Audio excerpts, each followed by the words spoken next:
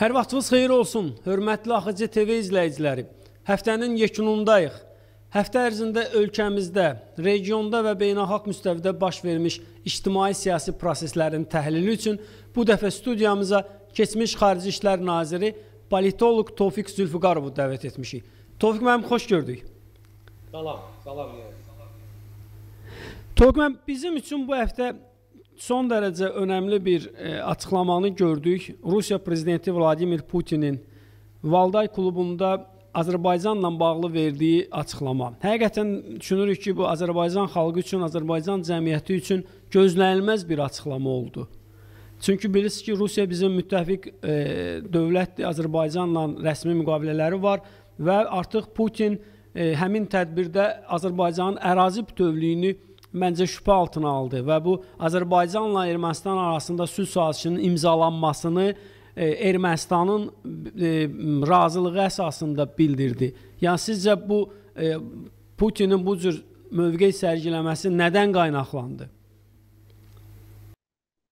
Ə, çox sağ olun sualınıza görə, amma doğrusu ə, mən indi özüm də ə, ə, sosial şəbəkələri izlədim və gördüm ki, bu məsələyə aid ə, bəzi narahatçılıqlar var.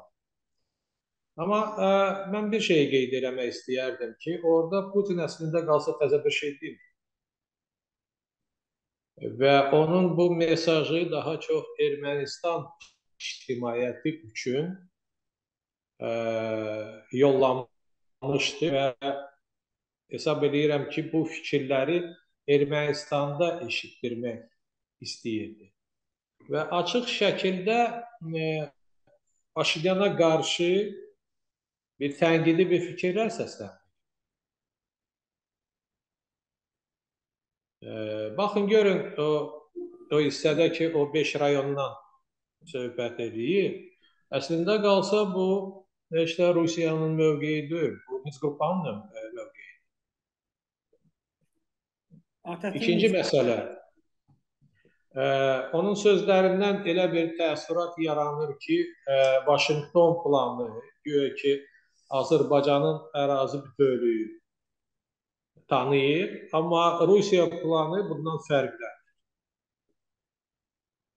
Amma həm Vaşinqton planı, həm də Rusiyanın təklifləri əslində qalsa və bu da dəfələrlə biz eşitmişik ki, Azərbaycanın ərazi bütövlüyü prinsip əsasında həyata keçirilməlidir. Və 20-ci ildə 10 noyabrda imzalanan sənəddə də bu məsələyə bu şəkildə yanaşma var və hətta Putinin bəyanatı var. Söhbət ondan gedir ki, indi Rusiyanın maraqları ondan ibarətdir ki, o istəyir ki, bu e, Rusiya-Türkiyə tandemində baş verən iki ilin ərzində prosesləri indi Qərbin də cəlb olunmasını təmin eləsin. Çünki onun dediyi fikirlər və təklif olunan sənədlər e, belə deyək, Vaşinqton planından heç nə fərqlənmir. Əslində qalsa, orada e, Madrid prinsipinə aid 5 rayon mövzusu da var.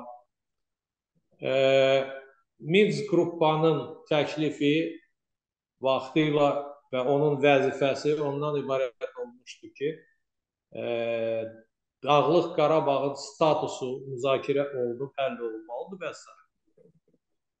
Mən e, bu bəzən təəccüb doğrudan bu bəyanata e, o nöqteyi nəzərdən baxmaq istəyirəm ki, bu bəyanat ilk növbədə onunla bağlıdır ki, Rusiya istəyir bu prosesə Qərbi qoşsun. Daha doğrusu Qərb də bu prosesdə hansısa təzə bir yer tapsın. Çünki bilirik ki, Rusiya indi e, ciddi şəkildə e, izolyasiya şəraitində. Və onun qərb ilə münasibətləri demək olar ki, böyük sahələrdə pozulub. yeganə bir e, format qalıb, o da İran nüvə silahına aid danışıqlarda Rusiya bərabər Qərblə Viyana prosesində iştirak edir. İndi mən istisna eləmirəm ki, ə, e, Rusiya istəyir bu məsələ ilə və bu cür bəyanatlarla e, Qərb ilə bir yerdə bu və ya digər şəkildə Minsk qrupanın fəaliyyətini bərpa eləsin. Şəxsən məndə bu təəssürat yaradır bu bəyanat. Baxın görün. Əslində qalsa biz başa düşməliyik ki, ümumiyyətcə bu münaqişə üçüncü tərəflərdən, yəni böyük oyunçulardan ə, həmişə bir ə, alət kimi istifadə olunur. Yəni münaqişə yolu ilə bu bölgəni idarə etmək cəhdləri biz ə, artıq 30 ilin ərzində hiss edirik. Və indi 2 e, ilin ərzində, yəni 20-ci ildən sonra biz gördük ki, bu proseslərdə əsasən Rusiya və Türkiyə daha fəal mövqeydə idilər. Amma Qərb də bundan, bu vəziyyətdən narazı ola-ola biz gördük ki, danışıqlar prosesi, yəni Brüssel formatı da təşkil edib və hətta ə, bu görüşlərin nəticəsində bir tərəfli olaraq Bunu xüsusilə qeyd eləmək istəyərdim. Onlar ə, e, Avropa İttifaqının missiyasını təşkil edirlər Ermənistan tərəfindən. Və burada məqsəd ondan ibarətdir ki, gələcəkdə Rusiya sülhbəramlı qüvvələr və bu Avropa İttifaqının missiyası bir yerdə fəaliyyət göstərsin və gələcəkdə baş verən danışıqlarda həm Rusiya, həm Qərb vasitəçilik eləsin. Bu hansı danışıqlardır? Bu danışıqlar barəsində artıq biz görürük ki, ə, həm Fransa rəsmiləri, həm də Amerika Birləşmiş rəsmiləri açıq şəkildə deyirlər ki, ə, artıq Azərbaycan rəsmiləri gərək Dağlıq Qarabağda yaşayan ermənilərlə danışıqlar aparsın. Və bu təb e, tələblər axı bu, axı bu tələblər Toyuq müəllim üzr istəyirəm. Axı bu tələblər Azərbaycanın dövlət maraqlarına cavab vermir. Deməli müəllim, söhbət ondan getmir ki, bu tələblər bizim xoşumuza gəlir ya gəlmir. Sadəcə olaraq mən dediyim bu siyasi təhlil. Yəni bu mənim mövqeyim deyil. Təbii ki, mən bu e, məsələləri dəstəkləmirəm və amma onların istədiyi müəyyən eləmək üçün biz bu təhlili sizlə bir yerdə apar aparırıq. Yəni mən əminəm ki, bu sərhəddə missiya öz işini başlayandan sonra və sərhəd Ermənistan tərəfindən təsbit olunandan sonra artıq Qarabağda bu və digər şəkildə danışıqları bərpa eləmək cəhdləri olacaq. Və orada vasitəçiliyi biz görürük ki, həm Amerika Birləşmiş Ştatları, həm Fransa, həm də əminəm ki, Rusiyada necə ki, bundan qabaq olduğu kimi bu danışıqlarda iştirak etməməyə niyyətlidir. Baxın, görün, e, biz sentyabr hərbi əməliyyatlardan öncə bir uzun müddət elə bir Ermənistan tərəfindən silsilə təkrarlanan bir təxribatları gördük. İndi isə bəlli oldu bu təxribatların məqsədi nə idi? Məqsədi ondan ibarət idi ki, Azərbaycanı bu və digər şəkildə e, təqsirli bilmək, ittiham eləmək Və bunun ə, ə, ə, fonun üstündə, yəni təbliğat fonu üstündə bu missiyanı təşkil eləmək və sərhədə yollamaq. İndi ikinci mərhələ yaxınlaşır. Onların planı planına uyğun olaraq. Mən əminəm ki, bu yaxın həftələrdə Qarabağ bölgəsində təxribatların sayı artacaq. və ortaya təzə bir mövzu gələcək. Hansı mövzu? Burada təhlükəsizliyi təmin eləmək üçün xüsusi addımlar atılmalı. Burada danışıqlar baş verməli. Biz gəlib sizə kömək edirik. Fransa artıq bəyan eləyir ki, ə, mənim məqsədim orada humanitar missiyasını açmaq və s. və ilə. Yəni biz bu istəkləri artıq görməliyik. Və bu təhlükəni hiss edib buna qarşı öz siyasətimizi qurmalıyıq. Ona görə Putinin bəyanatı gərək təkcə Rusiyaya aid bəyanat kimi baxmayaq. Burada mən açıq deyim ki, Fransa və Rusiya koordinasiyasını görürəm. Çünki Fransa başa düşür ki, o da bu prosesdə iştirak eləmək üçün, bu icazəni almaq üçün gərək Ruslarla hansısa şəkildə ə, ə, belə deyək, siyasi alveri aparsın. Və əminəm ki, bu siyasi alver artıq baş verir. Və Fransa öz növbəsində Rusiya söz verib ki, bu siyasi izolyasiyadan Rusiyanı biz kömək edib çıxardacaq. Yəni siyasi izolyasiya təbii ki, ə, e, Ukrayna müharibəsi ilə bağlı olan məsələdir.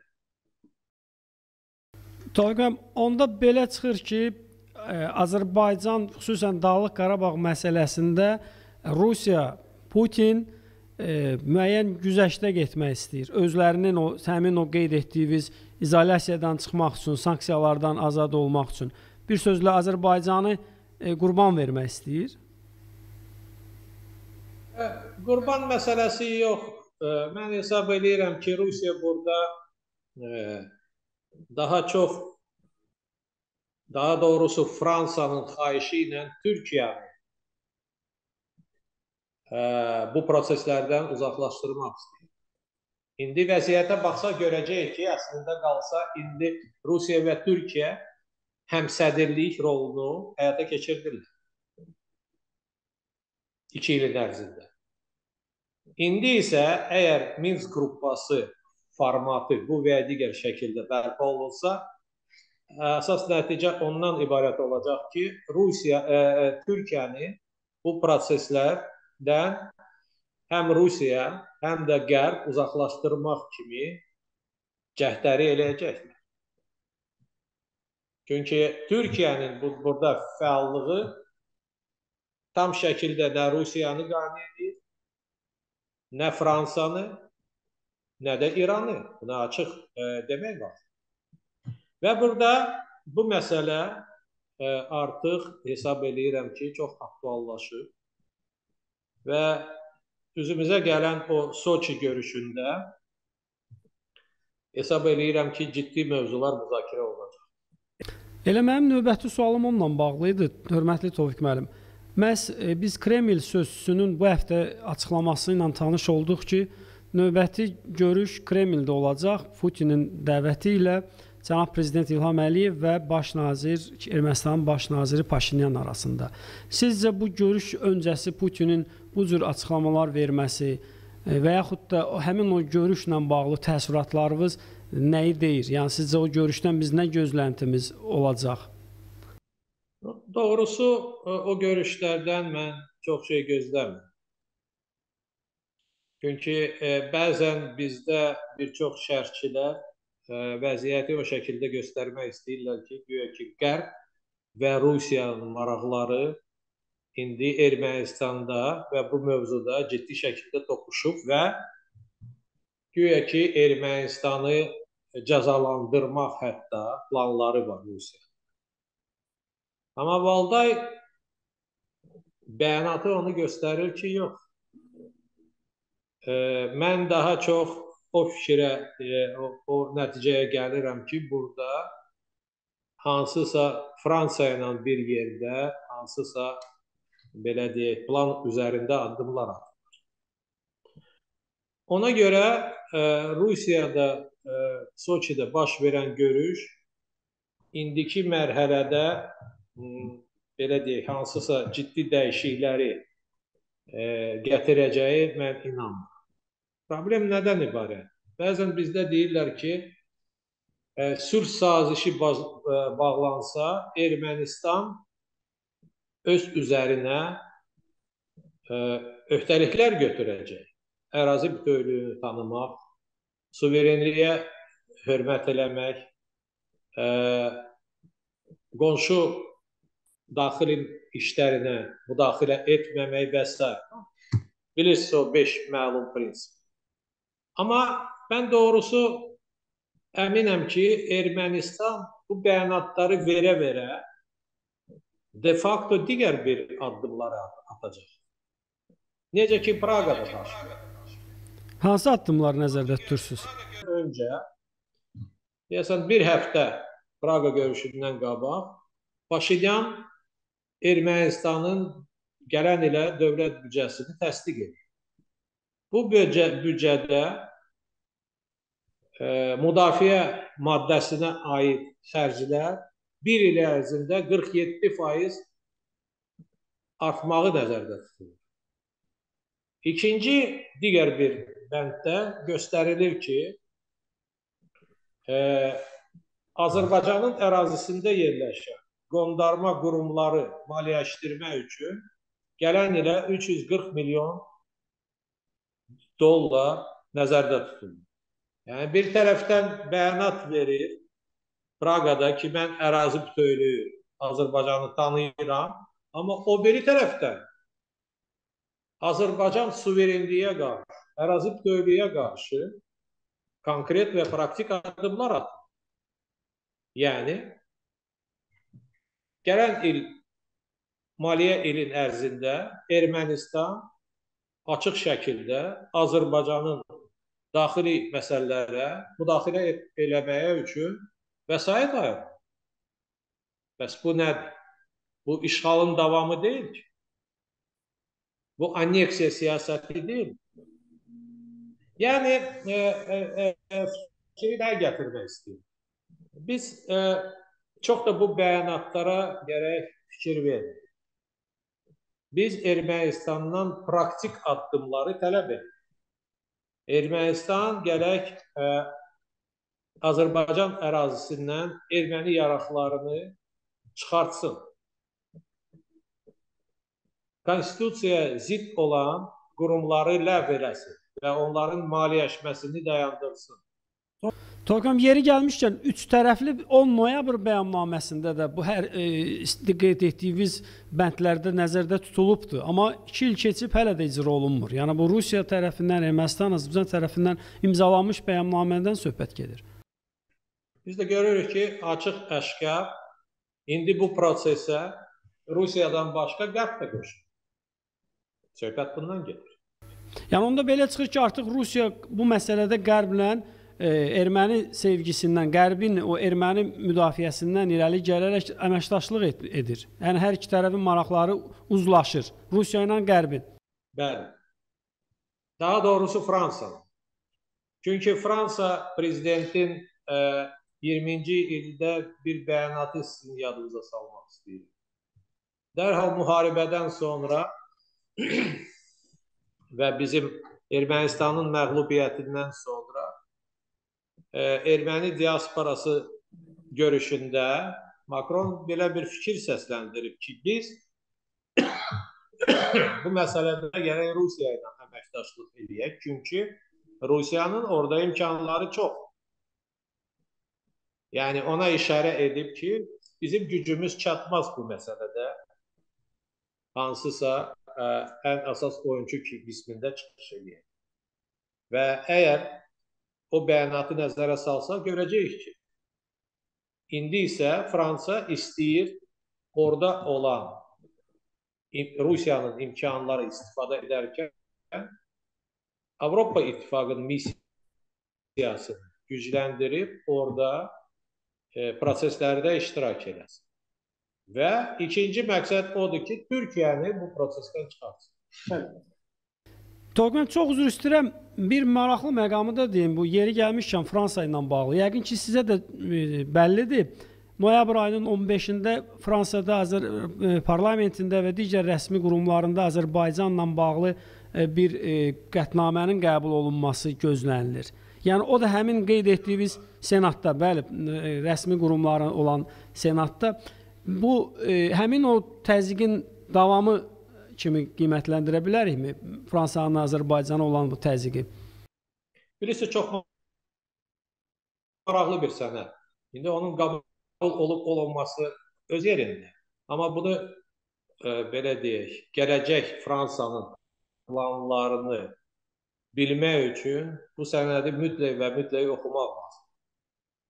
Orada demək olar ki, Fransanın bu məsələyə aid gələcəkdə atılacağı addımlar göstərilir.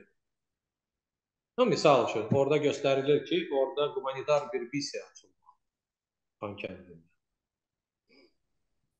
Və digər mövzular var ki, onu diqqətlə oxusaq görəcəyik ki, ə, ə, belə deyək, bizə qarşı oyunları nə şəkildə qurmaq ə, ə, qurmaq niyyətindədirlər. Toğrul, ən maraqlı sual. Əgər bu baş verərsə, Azərbaycan siz, sizcə adekvat olaraq hansı addımlar atmalıdır Fransaya qarşı? Rəsmi rəsmi e, söhbət Azərbaycan mövqeyindən gedir.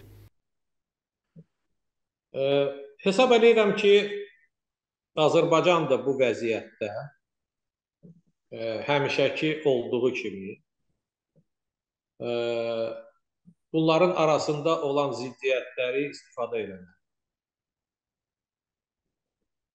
Konkret indi açıq şəkildə demək istəmirəm, amma e, belə imkanlar var. Əminəm ki, burada cənab prezidentin, e, Türkiyənin prezidenti görüşəndə də bu mövzular müzakirə olunur. Və biz e, başa düşməliyik ki, bu böyük oyunçuların oyuna qarşı bizim də hansısa atılacaq addımlarımız və planlarımız olmalıdır və olacaq. Cənab prezident demişkən, status quo yoxdur. Status məsələsi e, belə deyək, artıq gündəmdə deyil. Gorbajor olub, bəli, cənab prezidentin dili ilə desək gələcəkdə atılacaq addımları təsəvvür eləmək üçün bəs bu iki tezisi yada salmalıyıq. Hər halda biz e, ümid edirik ki, Fransa bu tarixi səhvi atmayacaq Azərbaycana qarşı və əgər baş verərsə, Təbii ki, Azərbaycan da öz öz e, dövlətçilik marağından çıxış edib Fransa ilə bütün əlaqələri yenidən baxacaq. Yəni bir siyasətçi olaraq biz bunu qeyd edirik. Düşünürük ki, Azər bu bütövlükdə Azərbaycan xalqının və ali baş komandanın elə mövqeyidir. E, Toyuq müəllim, bizim vəziyyət fərqlidir, demədim mən. Biz başa düşməliyik ki, Azərbaycan əskəri indi 20-ci ildə sentyabr əvvəlində olan mövqeylərdən çox fərqli bir mövqelərdədir. Toğan biz e, təxminən və Azərbaycan-Türkiyə müttəfiqliyi də indi digər bir səviyyədədir, daha yüksək. Yəni bu çox ciddi məsələlərdir ki, gələcəkdə onlar vəziyyətin inkişafına təsir göstərsin. Son sualım çox xahiş edirəm 2 dəqiqəyə cavab verəsiniz, çünki vaxt imkanlarımız yekunlaşır. 2 dəqiqə vaxtımız qalıb. E, siz bu yaxlarım çox maraqlı bir məqama toxundunuz. İranla Rusiyanın razılığı.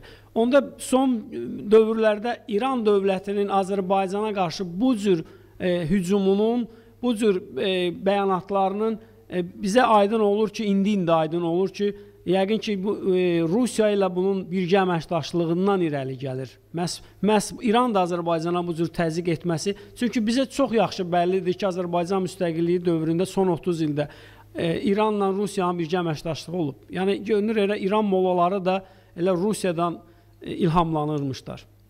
Çox xahiş edirəm 1 dəqiqə yarım. Fərq var. Bilirsiniz, e, mən daha çox e, üstünlük o fikrə verirəm ki, burada Rusiyanın və Fransanın hansısa ortaq oyunu mövcuddur. O ki qalır İrana e, İranın Xarici İşlər Naziri Qafanda çıxış edəndə belə bir fikir söyləyib ki, biz bu bölgədə xarici qüvvələrin olmasına tərəfdar deyilik. Və burada görsənir ki, e, bu bir növ mesajdır. E, həmən mən dediyim məsələlərə. Yəni İranın e, mövqeyi e, təkcə bizə qarşı yox. Hətta qapalı da olsa, üstü örtülü də olsa Rusiyaya da qarşıdır. Son son 10 saniyə müəllim, yekunlaşdırın efir vaxtıdır. Hə. Yəni burada bəlkə də təzə bir söhbətin mövzusu ola bilər, amma İranın mövqeyi biraz fərqlidir. Yəni İran da öz ə, ambisiyalara uyğun olaraq regionda hansısa təzə bir siyasəti həyata keçirmək ə, cəhdləri eləyəcək. Çox təşəkkür edirəm Tofiq müəllim dəvəti qəbul edib iştirak etdiyiniz üçün. Hörmətli tamaşaçılar, xatırladım ki, bu dəfəki qonağımız keçmiş Xarici İşlər Naziri, hörmətli politoloq Tofiq Zülfüqarov idi. Sağ olun, növbəti görüşədək.